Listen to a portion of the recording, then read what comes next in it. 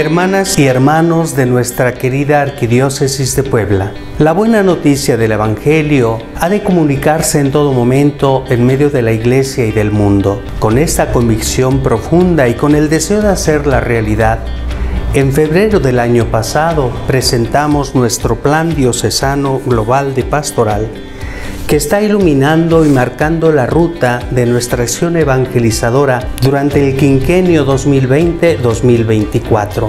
A partir de aquella fecha y enfrentando la crisis sanitaria que aún nos aflige, estamos procurando nuevas formas de anunciar la buena nueva de Jesús, de manera que no deje de celebrarse y vivirse es esta buena nueva de Jesucristo la que nos mantiene firmes en la esperanza y eficaces en la caridad, particularmente con aquellos hermanos que más sufren las consecuencias de la pandemia. Por este medio, me da mucho gusto hacerles la invitación para que se sumen a la vivencia de nuestra décima quinta asamblea diocesana de pastoral, encaminada a discernir respuestas a los problemas emergentes de nuestro país y de nuestra diócesis a la luz del proyecto global de pastoral de nuestros obispos mexicanos 2031-2033 y a la luz también de nuestro Plan Global Diocesano de Pastoral. Se trata de generar un espacio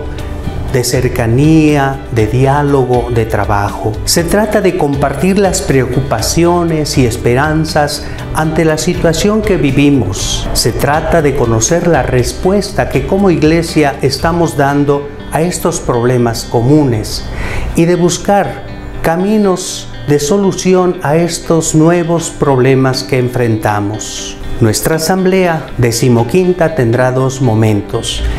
El primer momento consistirá en un encuentro eclesial de diálogo diocesano a realizarse los días 6 y 7 de septiembre de manera virtual.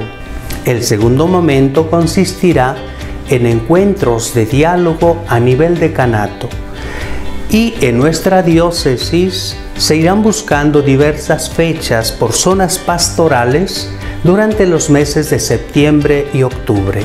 Te invitamos a unirte a esta asamblea mediante tu oración y a mantenerte atento a tu parroquia para que participes activamente en esta experiencia de diálogo eclesial.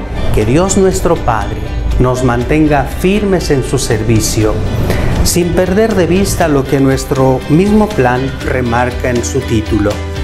En Jesucristo vivimos nuestra dignidad humana con esperanza y alegría.